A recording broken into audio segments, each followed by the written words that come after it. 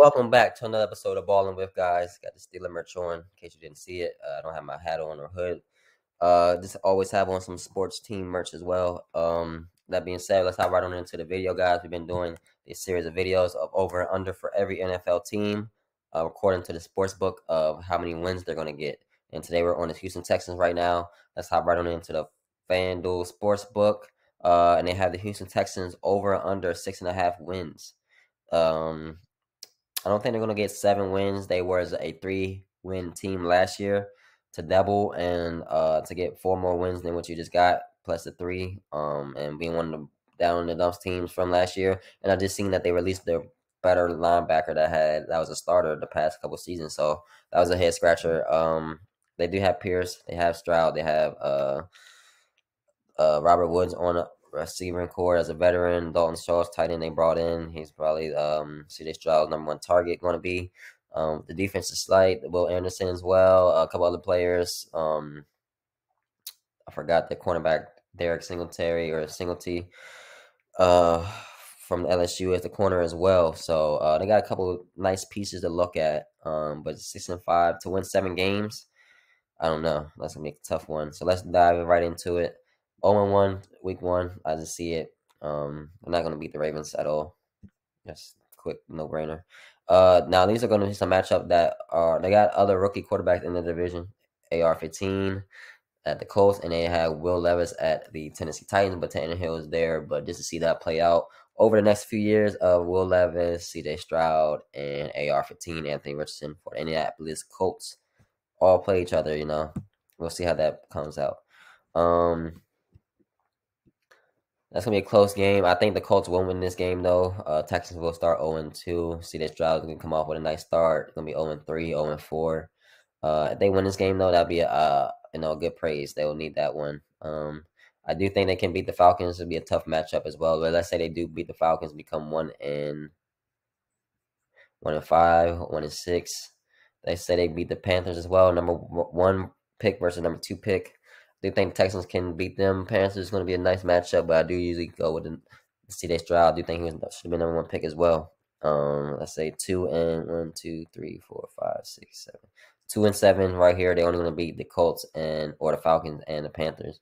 I don't know if they're going to beat the Colts yet, but two and seven at the Panthers. Uh, they should beat the Buccaneers. It's going to be another close matchup. I wouldn't doubt it. I wouldn't doubt the Bucks win, but let's say Texans win here three and seven as well. Still the record. Three and eight. Four and eight. Four and nine.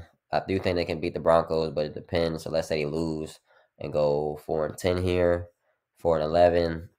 You know, they couldn't win this. It depends how the Titans quarterback situation is here. Let's say they win five and eleven. They're gonna lose to the Browns here, and they could, you know, beat the Colts again. So let's say six. Titans, it depends how their quarterback carousel is. So they're at five wins here. Five wins at their at their fifth win. Um, they have three games left. They need to win two games out of the three. It depends how the quarterback carousel is. I don't think they're gonna win. They might win six games. They double their wins to six. I don't think they're gonna win seven though, and double it and you know be over it. So I do think they're gonna get right under that seven mark. They're going to win six to five games. Seven will be on the better end. That would be a great year for the Texans if they can win that, but I don't think that will play out just how the cards will fold. Um, and just looking at the schedule again, 0 and 1, let's say 1 and 1, 1 and 2, 1 and 3, 1 and 4, 2 and 4, 2 and 5, 3 and 5, say 4 and 5, uh, four and six, five and six, five and seven, six for seven. If they're really winning these games, though, if they're winning these games, I'm pointing out. I do think Bucks can beat them. I do think Browns can beat them. It's gonna be close games. Uh, six and eight. Uh, what's left? Fourteen. Yeah. Um. So seven for eight. Right there, yeah. If you're on that point right there, you're right there on that mark. You got two more, three more, four more games left. They gotta win their beginning games, but I don't think they are. They're still a new team, young team. Uh, so I got them going under that seven mark. I got to hit him right on the head at six. Could hit seven, but that, that they do win seven. Most improved team, you know. Um, with all that being said, guys, make sure you like, comment, subscribe. Houston Texans was a quick video. Um, got the rest of the NFL to cover. Um, who is the next team? Indianapolis Colts. All right, we're gonna get dive right into that one next. Uh, guys, like, comment, subscribe. We got more news, media, uh, highlights, um, sports bets, uh, and sports challenges coming out. Um, guys, we are going to be doing sport highlights for the DMV athletes as well for the top high school recruits and high school teams out here.